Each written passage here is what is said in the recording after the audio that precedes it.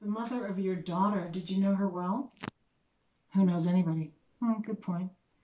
You think you know somebody, then find something out that makes you realize you didn't know them at all. I loved her without knowing who she really was. Well, who was she really? A bitch.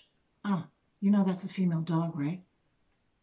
He stares out the porthole as though we're in the middle of a stormy sea, not a driveway. We see what we want to see.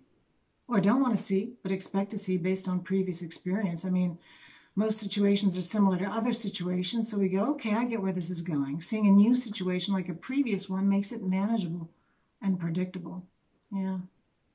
For some reason, this gets me stewing about coffins, how the wooden structures we live in that contain us are no different from coffins. Conker, lying in his boat, is already in his coffin.